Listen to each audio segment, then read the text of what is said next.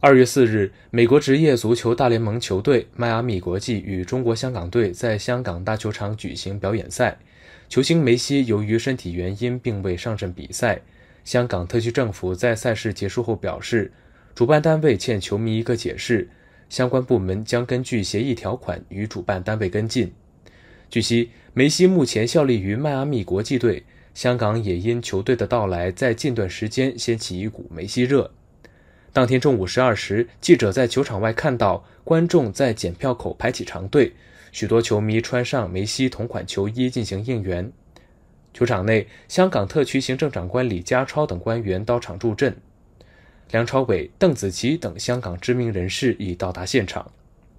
下午三时许，迈阿密国际足球俱乐部主席、前足球运动员贝克汉姆现身绿茵场，引来现场观众欢呼。十六时八分，表演赛正式开始，最终以迈阿密国际四比一获胜。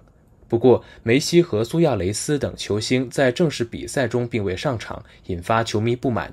比赛结束后，贝克汉姆绕球场一周向球迷致歉。对于梅西和苏亚雷斯的未能上场比赛，迈阿密国际主教练马蒂诺在赛后记者会上表示，梅西目前正受肌肉炎症困扰，苏亚雷斯则是膝盖受伤，如果上场比赛会面临风险。梅西目前有肌肉炎症。当我们与医务人员坐在一起商讨时，他们说球员今天上场比赛风险太大。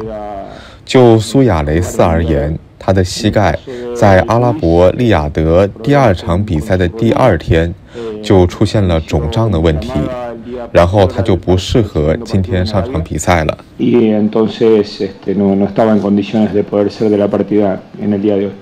马蒂诺说：“很感谢球迷的热情及对球队的喜爱，不让两位球员上场是队内医务人员的决定，他希望得到球迷原谅。”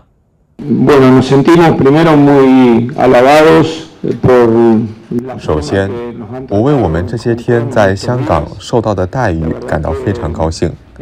事实上，我们真的得到了所有人的喜爱。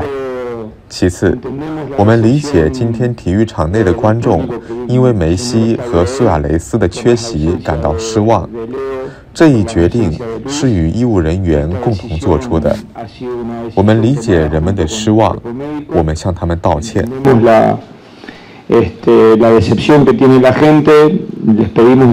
香港特区政府就此回应表示，此次活动获大型体育活动事务委员会颁授 M 品牌认可以及相应拨款资助。特区政府和一众球迷对主办单位的安排感到极度失望，主办单位欠球迷一个解释。未来，特区政府相关部门将根据协议条款与主办单位跟进，包括可能因应梅西未能出场而扣减赞助款项。据统计，当天比赛吸引近四万人入场。